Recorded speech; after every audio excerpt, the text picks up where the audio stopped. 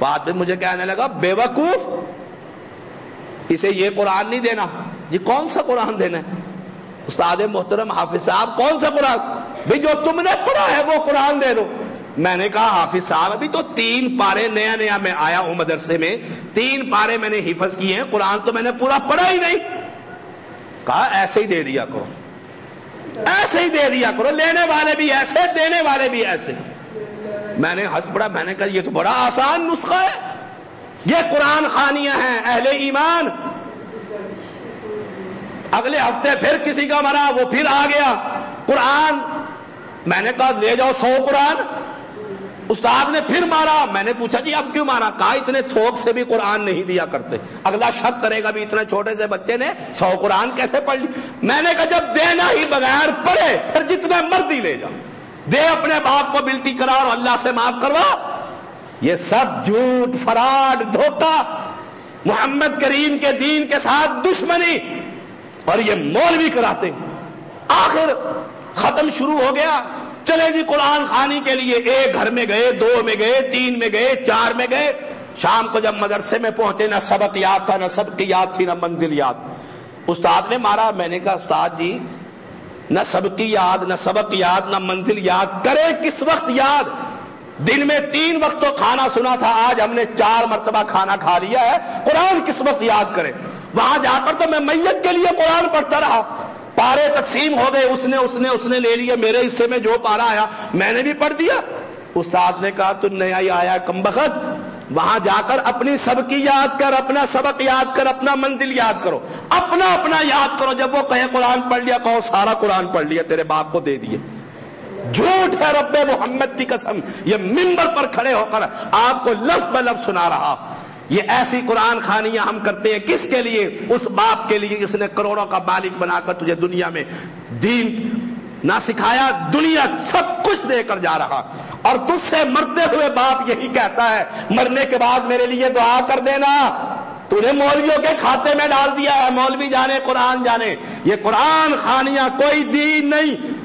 ये मैयत के साथ जुल्म और अदालत और दुश्मनी। मत कीजिए ये कुरान खानियाँ। आप खुद कुरान पढ़ें, जितना पढ़ेंगे, एक लफ्ज पढ़ेंगे, आपको भी दस नंबर मिलेंगे, आपके बाबा को भी दस नंबर मिल जाएँगे, आपको कहने की ज़रूरत नहीं। ये सबाब फला के ज़रिए, फला के वास्ते तो फैल सबके ऊपर चला जाए, कोई ज़रूरत रसूलुल्लाह सल्लल्लाहु अलैहि वसल्लम का फरमान अमाल मुनकते इनकता अमलू मरने वाले के अमाल मुनकते सिवाय तीन के उसमें बेटा जो नेकी करेगा, बेटे को भी पूरी मिलेगी, उसके मैयत को भी पूरी मिलेगी। तीजा आ गया है कुरान खानी हो गई, अभी सात आ गया जी। सात दिन हो गए बाप के मरने को, फिर खाना खिलाइए, दुनिया जहान के मौलवियों को जमा कीजिए, रिश्तेदारों को जमा कीजिए। दसवां आ गया है, बीसवां आ गया है, फिर चालीसवां आ गया मुझे याद है मेरी दादी वालिदा, फौत हुई, चालीस किस्म की चीज़ें लाकर रखी गई, फिर दादी का चालीसवां हुआ। चालीस किस्म के फ्रूट लाओ, पता नहीं क्या कुछ लेकर आओ। मौलवी फिर दुआ करेगा, उस पर कुरान पड़ेगा खाएँगे कौन? आप और मैं। सवाब किसको मिलेगा? याद रखिएगा एक नुक्ते की बात है। ये चालीसवा इस्लाम से पहले फिर की सुन्नत है, जो आज मुसलमान कर रहा। फिर इस्लाम से पहले ये चालीसवा मनाया करता था। ये उनकी सुन्नत है फिर की। आज मुसलमान चालीसवा करता है।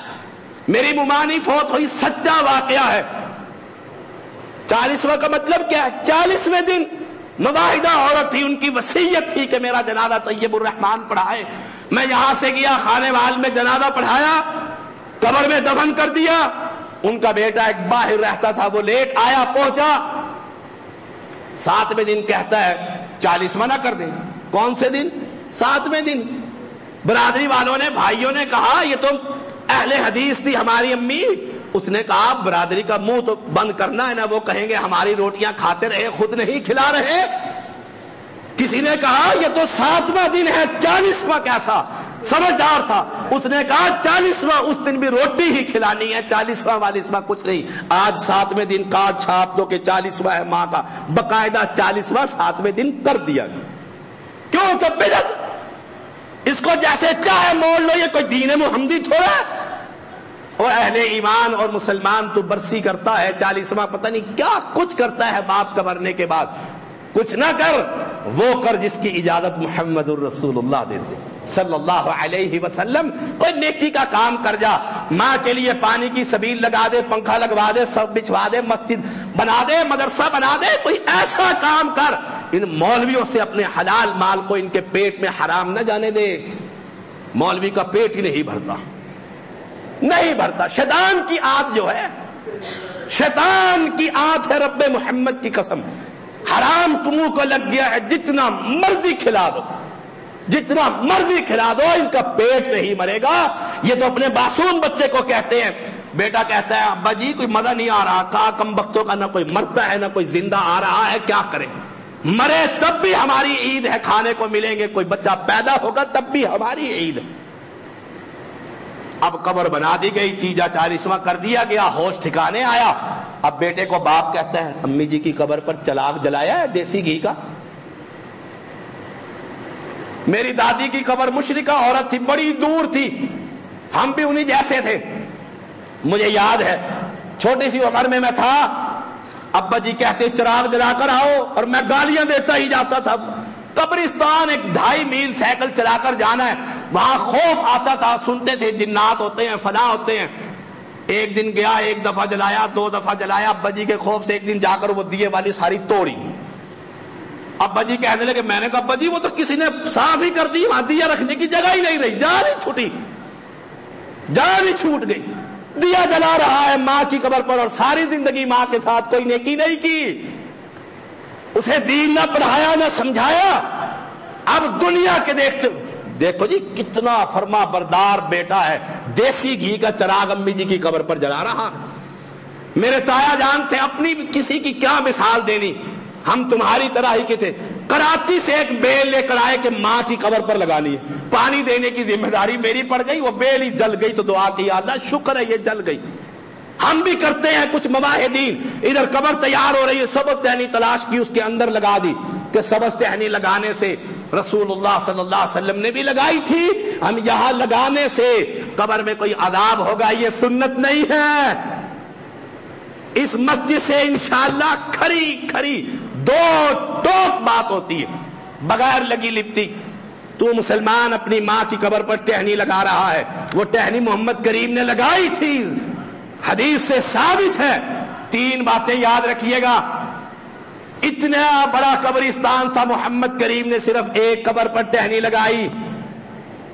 उन कब्रों के बारे में पैगंबर को वही की गई कि इन कब्र वालों को अदाब हो रहा है। ये तीन कब्रें।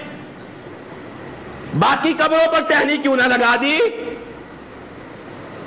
उन कबर पर अदाब हो रहा था। अल्लाह के पैगंबर को अल्लाह ने वही के ज़रिए इतला दी और हमें वही के ज़रिए कोई इतला नहीं कि कबर पर अदाब हो रहा है कि नहीं।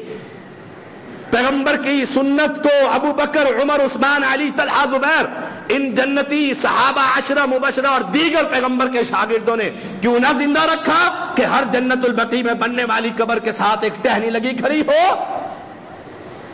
यह कोई दीन नहीं है। आगे चलिए।